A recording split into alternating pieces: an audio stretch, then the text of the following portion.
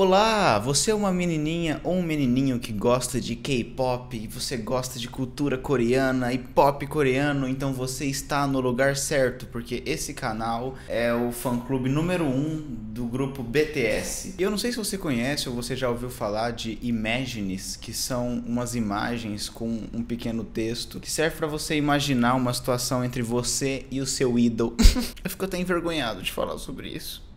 É como se fosse um pedaço de fanfic, só que numa imagem, e você tem que imaginar vocês vão entender, vocês vão entender. Você, sai Jungkook, por favor.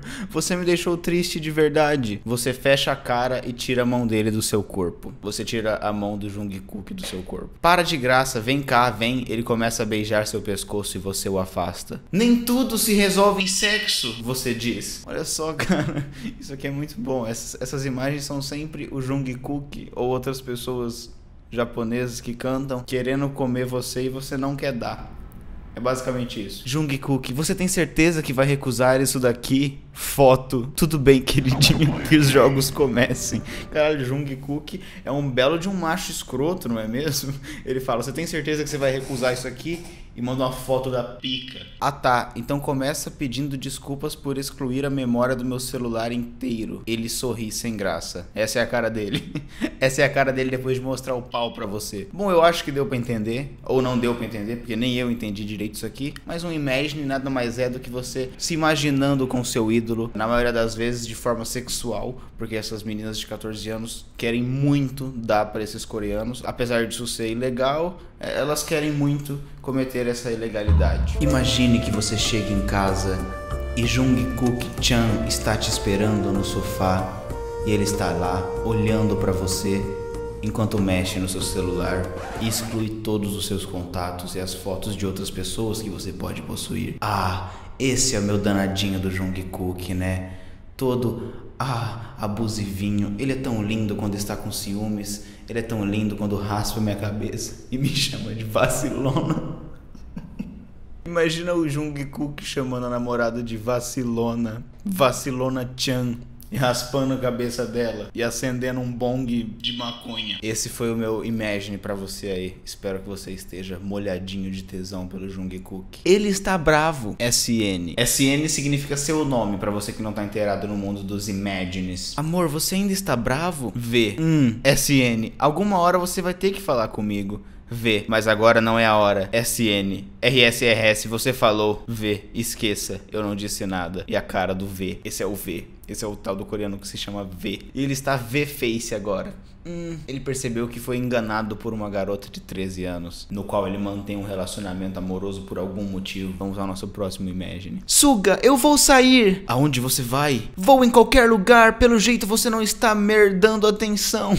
você está aí querendo dormir. Ah, você vai mesmo mer deixar? Porque mer? Você vai mesmo mer deixar sozinho? Faz biquinho fofo. Você ir saindo. Caralho, que pessoa analfabeta, velho. Você ir saindo, mas ele puxa seu braço braço pra cama. Dormir comigo, amor. Prometo quando a gente acordar, passo a noite toda com você. Ele beija sua testa e vocês dormiram. Oh, mas que fofo manter um relacionamento com o Suga do BTS. Para mim, todo coreano é do BTS. Não importa. Para mim, o grupo BTS tem 50 membros e são todos os dançarinos de K-pop. Meu Deus, essa imagem. Ele vê você após o término do relacionamento. Jungkook, aonde você vai, Roseok? Você está quase chorando. É porque a SN também está aqui. É porque a insira seu nome aqui está aqui também. É que ela ainda mexe muito comigo. Eu entendo como é mexer com os sentimentos do Rosiok. Você finalmente aceitou sair com o Suga. Olha só, é o Suga novamente. Para você, ele era apenas um bad boy idiota mas muito gato. Fico feliz que você finalmente aceitou sair comigo, ele diz rindo. É, não sei por que eu aceitei, mas até agora tô gostando do passeio. Você tá gostando de ficar comigo. Ah, é, yeah, eu sou o Sugakun, Sugaku. Se bem que poderíamos ficar de outro jeito. Uh, depois eu que sou o bad boy pegador. Realmente, mas que tal perder essa fama de pegador e só me pegar a partir de agora? Sei que vai gostar, não vai se arrepender. que legal, né? Nada constrangedor isso aqui. Você. Eu já te disse para não usar essa roupa perto de mim. Não gosta de policiais? Foto. Não como você, policial Geon, porque você me deixa louca para ser presa. Então você está presa e você tem o direito de ficar caladinha. E essa é a cara que o Geon faz para você. Eu não sei quem é Geon, mas deve ser o Geon Cook. Todos eles se chamam Geon Cook. John Cook. João Cook.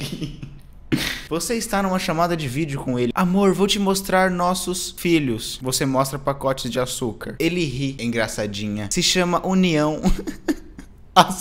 Açúcar União? Sim, tanta união e a gente separado. Você não disse isso. E essa é a cara do MD. MD não, YG. Eu não sei, eu não sei o nome desses coreanos. Mas a mina tava numa videochamada com o YG e aí ela pegou um pacote de açúcar União e falou: Essa é a união que existe entre nós, seu coreano safado. Baby Girl lacinho, lacinho. Se você rebolar. Que? Se você rebolar direitinho, Dad vai te dar um presente, disse o coreano. Você quer um pirulito? Eu tenho um especial. Nossa, que alusão à pedofilia tão fofa que foi postado aqui. E agora a gente vai ver um Imagine do Nial do One Direction, porque também chega desses orientais, a gente também tem que falar sobre o One Direction, porque eles também são lindos. E isso é tudo que importa. As pessoas serem bonitas, isso é tudo que importa e mais nada. Você, eu tô preocupado preocupada com o Nial Júnior. Por que, amor? Nial, esse garoto não para de comer, daqui a pouco tá virando uma bolota. Por que essa menina se imaginou numa situação onde ela tem um filho com o Nial do One Direction e esse filho tá se tornando obeso? Amor, ele está em fase de crescimento. Você ia argumentar até que o Nial Júnior entra na sala e olha para Nial.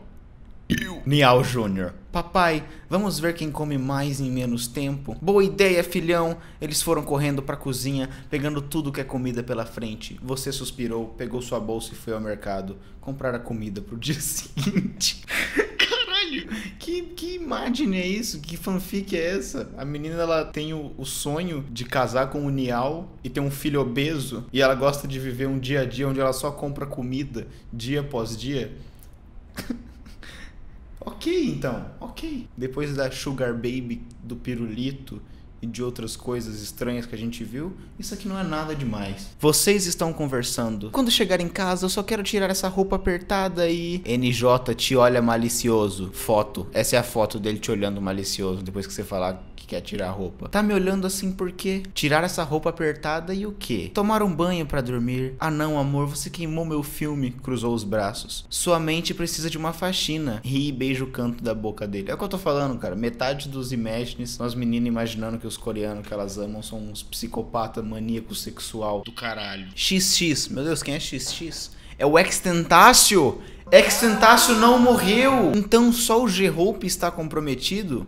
Os meninos concordam. Se chama seu nome. Ele sorri sem jeito. É oriental? Oh, não, é ocidental. Tá aí uma pergunta super comum que alguém faz quando alguém tá namorando. A ah, sua namorada é ocidental? Então vocês preferem as ocidentais? Todos concordam. Então o JM diz: digamos que as ocidentais sejam como a cor do cabelo desse Hyung. Quentes. Ai meu Deus, com vontade de morrer, cara. Bom, a gente já viu alguns imagens sobre BTS e Niall do One Direction. E agora a gente vai dar uma olhadinha nos fã-clubes dos irmãos Bert para ver se a gente encontra alguma coisa desse tipo. Então vamos lá. E uma das coisas que eu mais gosto nos fã-clubes do Bruno Bert e do Lucas Bert são os nomes desses fã-clubes. Bertinárticas dos Bert, Surtada dos Berts, Filha do Lucas, debochada dos Bert. Por algum motivo na foto tem uma mina chupando um pinto roxo, sei lá. Baiana dos Bert. Baiana dos Bert, foda-se. Almocinho do Lu. Almocinho do Lu. Foda-se. Kublefan Bruno Bert. Vi, a baixinha do DJ.